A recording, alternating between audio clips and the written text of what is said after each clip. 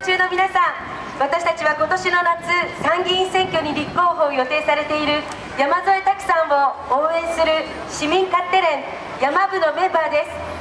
ただいま山添拓さんのパンフレットお配りしています。また皆さんの働き方ブラックじゃないシール投票も行ってますのでご協力をどうぞよろしくお願いいたします。続いてのスピーチは今話題になっています。介護で働く現場からの声です。どうぞよろしくお願いいたします。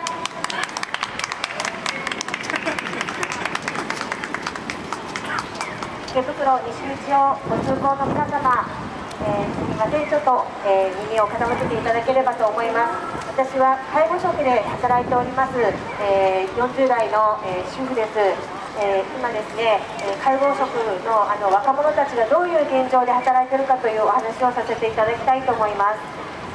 今あの介護職で、えー、介護福祉士という資格を持っていらっしゃる正社員で働いている若者たちがですね月給いくらで働いているか、えー、15万から17万の月給手取りで働いているそうです。そこに、えー、例えばですね月4日間夜勤をしてそれでやっと16万から18万円の手取りになるそうです。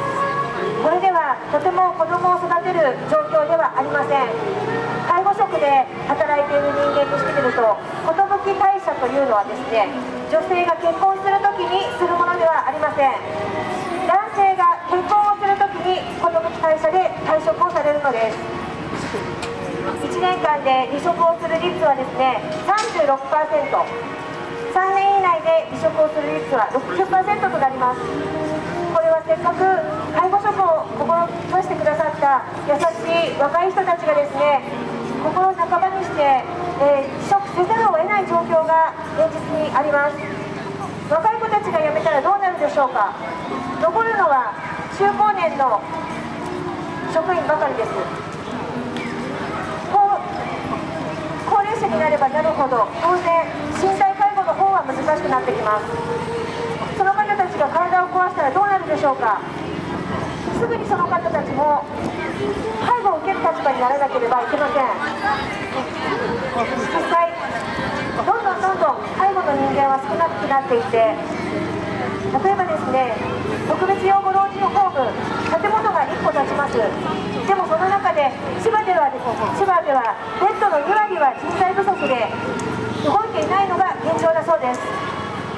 安倍首相は先の自民党の総裁選で介護離職ゼロを挙げ特養の大幅な整備を要介護3以上の、えー、自宅待機者15万人をゼロにすると訴えましたが実態はどうでしょうか。